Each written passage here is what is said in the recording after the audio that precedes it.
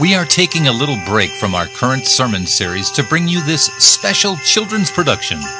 Our kindergarten through fifth grade Sunday school classes would like to welcome you to their presentation of Christmas Letters, directed by our children's director, Angie Notz. Pastor Terry will then have a short sermon which will follow the play. Let's join them now. You guys please welcome the Angie Notz and the children from Faith Outreach Center. PT? Are you late? Will you hold these for me? Sure. Thanks, baby. Good morning, everyone. Oh, photo session down here. Um, welcome to the third annual Kids Christmas program that we have ready for you. it could be interesting. Um, so, this is our third annual play. This year, the play is called Christmas Letters, and it's a short story about um, a mom and some kids who received a letter from grandma. And um, in the discussion, they decide to talk about what it would be like if they could have written letters to the Bible characters back um, on the day that baby Jesus was being born. So, throughout the morning, you're going to see um, some of the kids coming down who have written a letter to maybe Mary or Joseph or a shepherd, and then you'll see the, um, the response that the Bible characters have. Um, but before we get started on the Christmas program, the kids have um, picked out their favorite so- Christmas song of the season. I really don't know where to stand because all the videos. Um, they have picked out their favorite song of the season and they want to do a little special kickoff for you. So, guys,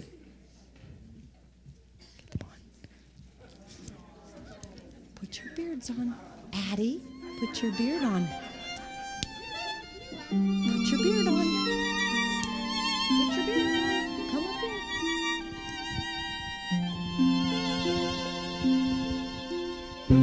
here.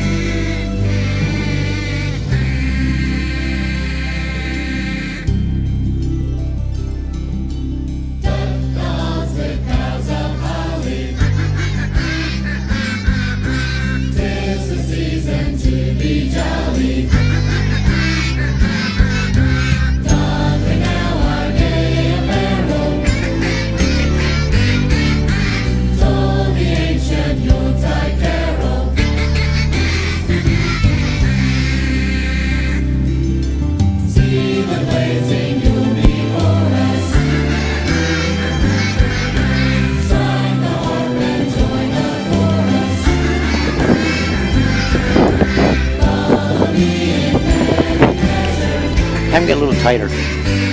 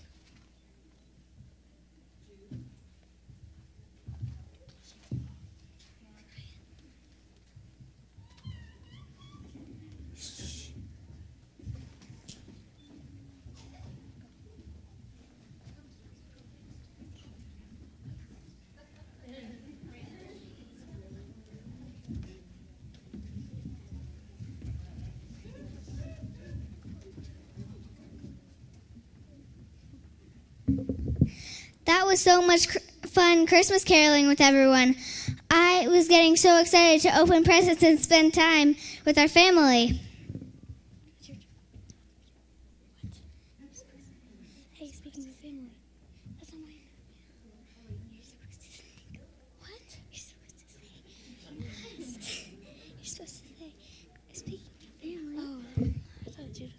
Speaking of family, we got a letter from Grandma. Come here and listen.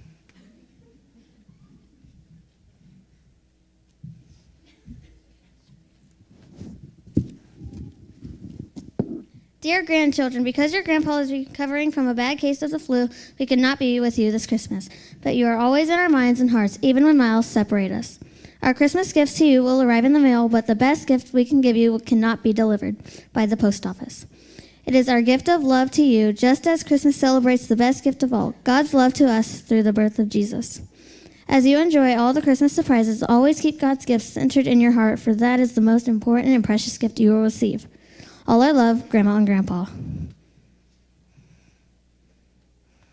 It's nice Grandma let us know why she couldn't come and what Christmas means to her.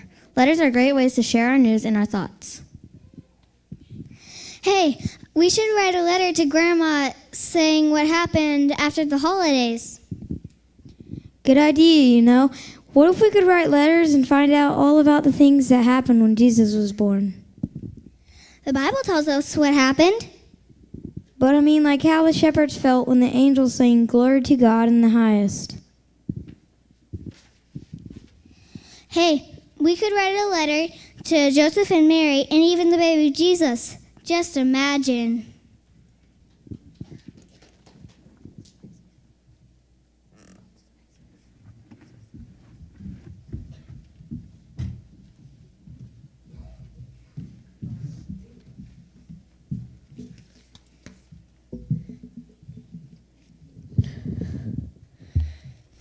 Dear Joseph, the Bible tells us that an angel appeared to you in a dream and told you about Mary, Mary and the baby Jesus.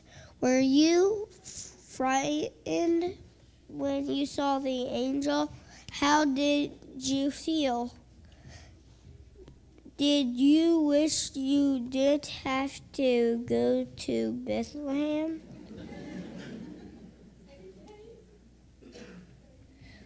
Love, Ryan. Dear Ryan, after I was engaged to Mary, I learned that she was expecting a baby. I was upset and very surprised. I could not believe this news. I thought I should not marry her. I didn't know the right thing to do. One night, an angel came to me in a dream with a message from God. The angel told me that I should make Mary my wife without being afraid. And yes, I was worried about the trip to Bethlehem. But we had to go and be counted for the census. Even more importantly, it was prophesied in the Bible that Jesus was, was to be born there. I knew that this journey had to happen according to God's plan. Signed Joseph.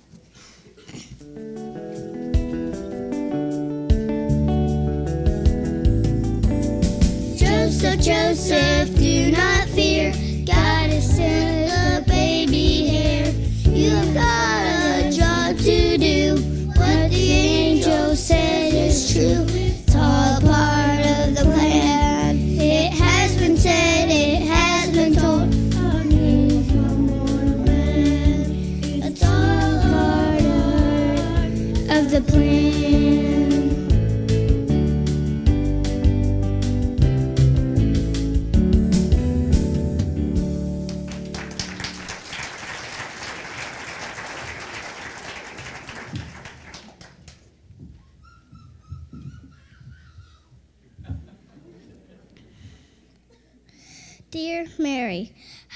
How exciting that you're going to be the mother of Jesus. How did you feel when the angel told you that you were going to be the mother of God's Son? Were you worried what people would say? Were you scared to travel to Bethlehem for the tax before Jesus' birth? Love, Brenna.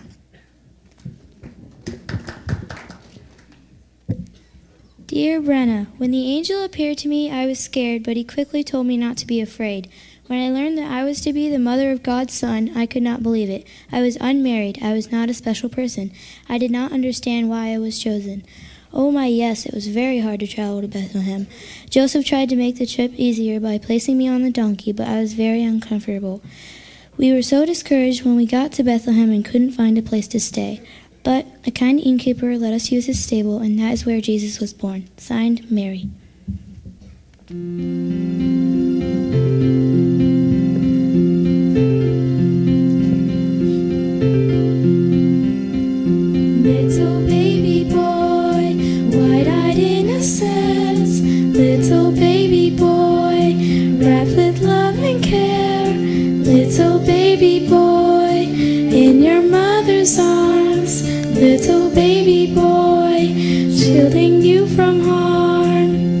A child like any child, my little baby boy. Little baby boy,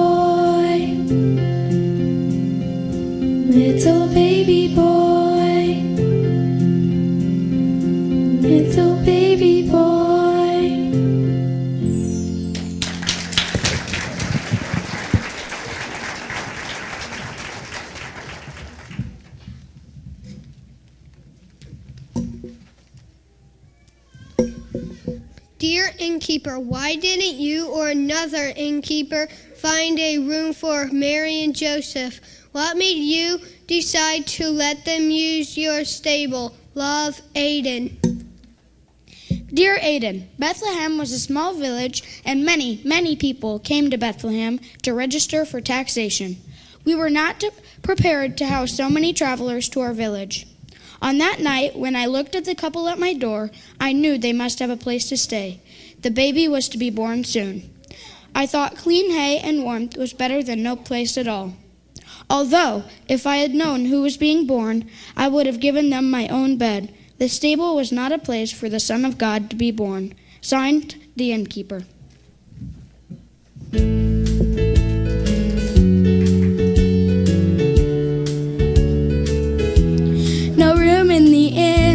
No bed to be had, not a nook, not a cranny, not an inch to lay your head. Ask who you will, the story's the same. Because of the census, the king is to blame. It's wall to wall people like you've never seen. The folks in this town are packed in like sardines. Maybe a stable, maybe a stall. Clean hay in a manger, or nothing at all. I've nothing to offer this Bethlehem night, so maybe a stable will do for tonight.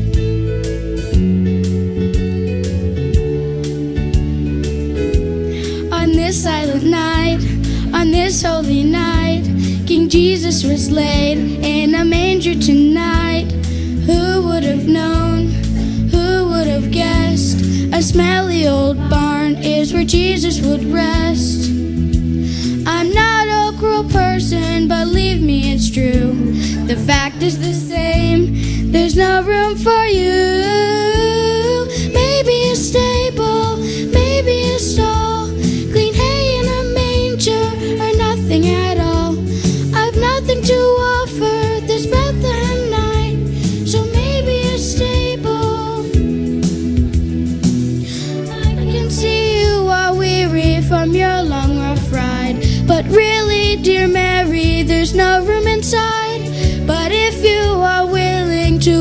with a cow,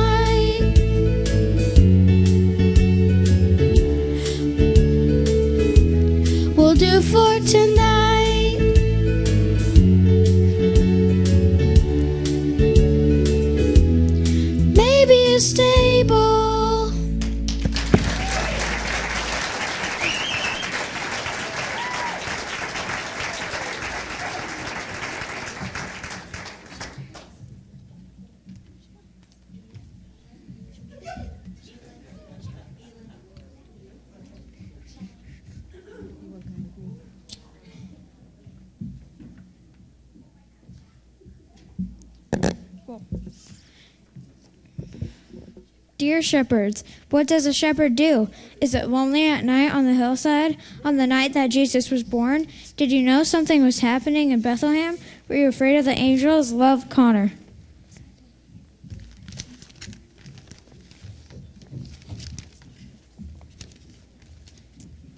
Dear Connor, being a shepherd is an important job. Every day we take the sheep to the hills to eat. The day we take the sheep to eat the grass because the villages are too small to grow food for animals.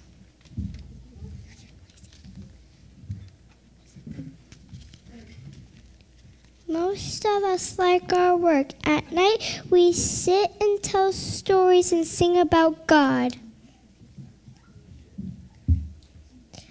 On the night that Jesus was born, we noticed a special star over Bethlehem, and an angel's voice filled the sky telling us about the miracle in Bethlehem. And we decided to go see for ourselves what the angel had told us.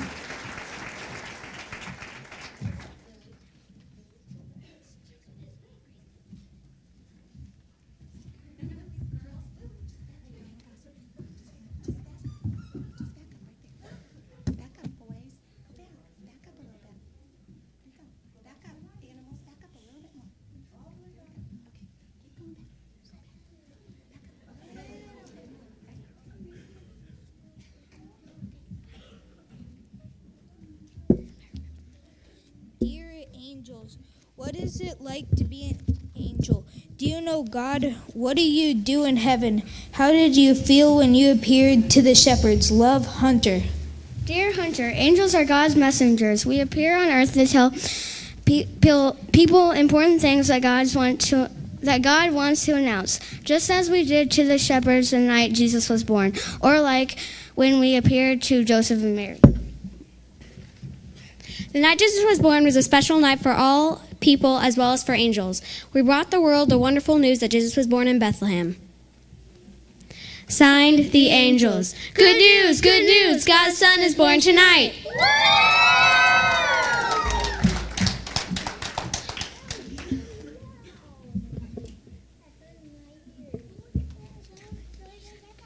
Dear baby Jesus, we know you can't talk or walk yet, but we wonder how you felt when you came to us. Here you are in a stable surrounded by hay and animals when you should be in a cradles in a palace because you are a king. We thank you, Jesus, for being born and for loving us. Love, Sierra.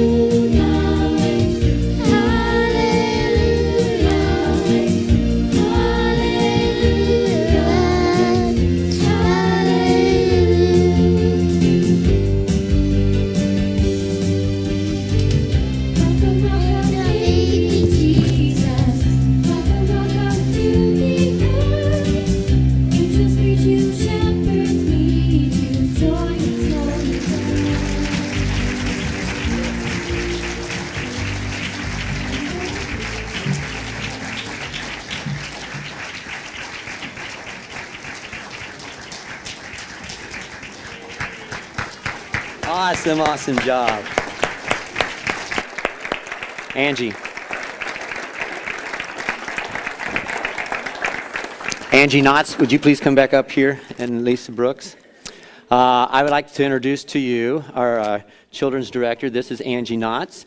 And uh, this is Lisa Brooks. This is one of her helpers. I just want you to know that um, Angie has around her a huge team of volunteers, and a lot of you guys are the volunteers, and they're out there right now. But if you guys are, are volunteers as far as the children ministry, would you please just stand up real quick?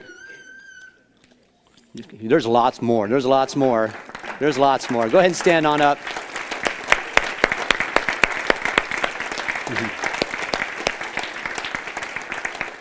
Well, Angie, we, we are very, very grateful for what you do. You do an excellent job here at the way you take care of our kids. As a matter of fact, uh, Lisa here, I've asked her to. Actually, there's some others that would have come, but they couldn't because they had to work. But I just want you to hear from some mothers. we, we want to see her cry. Amen? There's enough. Awesome. Well, I know that you, as parents, know what it's like to um, hear your kids start asking you to spend the night somewhere for the first time. You know, when they're like, I don't know, second, third grade, they're starting to, they're starting in, and you're like, oh, well, I don't, I don't know, I don't know, bud, because I don't know if I know that mom. I don't know if I know, we don't know that dad yet. Well, when um, Jonah and Gabe started asking to spend the night places, they're back there, aren't they cute? Um, yeah, they're all grown up, taller than we are. But they started asking, and this was one of the people that they would come home and talk about all the time. I just love Angie. She's so nice. Mom, she does, yeah. especially Gabe. I don't know what it was. I think it was because she let him play in the dirt and go go pick up animals and stuff like we all do. So, so he loved that about their house, and he would come home and just talk, just praise her. And I know from a mother's standpoint that that's what you want to hear when they've been somewhere, you know. And I know Angie. Oh my gosh, I can't say enough good things about her. Um, she she's one of those women that you you just want your kids to be around because she just she, you know that she's a, a, person of god. And i know that she does her morning worship all the time or her daily devotions. Yeah. and and you can just see that coming out of her you know? And she's so great. She that was mine today. And, and, oh well yeah yeah. God help me. But um, she's just i I don't even know what else more to say because I just love her and I love that, you know, and I loved when she was at the school too, even with Jude and Tessa. I was like, oh, good. Angie's there in case they have to go to the office. Angie's there just in case they need something. And, and Jenny too. so I was always happy that these two were in the office to help them over at Columbia. And I and now she's here. So I'm just happy that my kids have her here now. Amen. So Thanks. Thank you, Angie. Yeah. Thank you. By the way, that just in case was quite often. So anyway, send those boys to the office. No. No, in honesty, uh, and being with Angie a lot, I just want you to know God wakes her up all the time to pray for individuals in this church all the time. And how God just lays people on her heart and especially your children. And that's one of the things that really drew her to the schools. She could, she hated the idea of leaving the kids at school, but she loved the idea that she got to spend time with them here at the church. So Angie, we appreciate you, and we want to I'd give you this as a token of our appreciation. Love you very much. Thank you. Thank you. Why don't I pray for you? Would you please stretch forth your hand, dear Heavenly Father? We realize that uh, the church is uh, as good as its uh, young generation, Lord. Without the young generation, the church would die. And so, Lord, teachers are so important. I thank you, Father God, that you've surrounded Angie with such talented, gifted, dedicated, loving parents and teachers, God, that love your children and love our children. So thank you, Father God, for that in this church. And Lord, we just thank you for Angie and all that she brings to this church and all she brings to our children. We ask, Lord, for your anointing and blessing upon her in the name of Jesus. And thank you, God. Fill her with your spirit and their family, Lord. We pray protection over their family and their household. And we plead the blood of our Lord and Savior Jesus over you for all protection in Jesus' name. And thank you, God, for what you're going to do in the future, in the future of these young lives, Lord, as they hear the truth and they surrender their hearts and lives to you in Jesus' mighty name. Amen. Amen. Amen. Thank you. God bless you. you. See ya. all right. Thank you. Well, I just want to go ahead. I have something I just want to give you like five minutes, if you would please indulge me. Uh, you know, when you see these little kids and you, uh, you hear the Christmas story, some of you guys have heard the Christmas story 20, 30, 60, 70 times, have we not? And one of the dangers of hearing a story so many times is the fact that all of a sudden we become dull to it. We stop losing the, uh, uh, the wow the factor of it. Where, when you think about the story of the birth of Jesus Christ, why, how, it all happened, when it happened, in the history and all that kind of stuff, we're just blown away. But I think one of the ways that we can maybe not be lulled to sleep, lulled to sleep, so to speak, is to maybe take a verse at a time. And I would like to throw up here on the screen, if you would, uh, two scriptures. The first one is this For unto you is born this day in the city of David a Savior, which is Christ the Lord. If you guys ever wonder why Bethlehem, you ever wonder why certain things that God says in the story, why He did it a certain way? That's one of the ways you should read the Bible. I mean, you know, the world accuses the church of this. Oh, as soon as you step into the church, you check out your brain. You no longer use your brain, you just use blind faith. Well, Jesus and the Bible and God has never, ever called people to come to Him blind faith. He calls us to test Him. He calls us to read His Word. He calls us to use our brain and all the faculties that we have, all of our senses that we have, in determining is this true? Because the truth will always hold out, will it not? It always will. And so God is not afraid of all these scrutinies. God's Word is never afraid of the scrutiny of man. You know, we can lie, we can manipulate it, but the truth is this you will always find the truth in the Word of God, and it will never fail you. And so we look at this and we always should trust God. And here's the next uh, scriptures. And by the way, the whole point of that was we do have faith, but it is not blind faith. It is faith because of the evidence that we have seen. It's faith because of the evidence that we have lived in our own lives that that faith grows and grows and grows. That is a, a Christian. That's a Christian that God wants to use. Someone who worships Him with all their heart, soul, mind, and strength. Amen? That's who we are to be. The next uh, scripture I'd like for us to look at, and that's this. This will be a sign to you. Oh, actually, I'm sorry, I'm reading a different version. You will find a babe wrapped in clothes, lying in a manger. Now, a sign. That's, that's one key word I just want to point in on. Um, suppose a foreigner came to the United States of America. How would they know who the president of the United States was? Well, you could see pictures and that kind of stuff, but maybe they've never seen it. Here's how you could say, well, this is a sign that you can know this is the president when you go down. Go to Washington, D.C. Go to this place where the, where the White House is and stand there. And eventually you'll see a man come out of there and he'll be surrounded by a whole bunch of other men in plain clothes and military garb. And then you'll see this man get on the, uh, the special helicopter and fly away. This is a sign to know that that is the president of the United States. And so they can go and they see that, and that would be a sign to them hey, that's the president. Well, this is how God says, hey, this will be a sign to you. This is how you're going to know you're going to find the Messiah, the Savior of the world. And God uses some unusual things says this you'll sign unto you. You'll find a number one a baby wrapped in clothing lying in a manger. That's something else. That's something else. Uh, first of all there's three points i want to pull out of this. I'm just going to make this real quick. Number one what are those things that we find out about jesus being a babe wrapped in clothes lying in a manger? Remember we can hear the christmas story again and again and be lulled to sleep. Let's let's look at these under a microscope. It's good. One of the things is this. You find that his humanity. His humanity. It says, You will find a, what is it, church? A baby. You will find a baby. And I've always wondered this. God could have came down. He could have came down as a man. He could have floated down as full Jesus, all right there, and all power and all that kind of stuff. But God, in His wisdom and for a purpose that maybe we can't understand, He chose to bring Jesus, number one, as a baby. And one of the things we learn from this is the humanity of Jesus Christ. The humanity of Jesus Christ.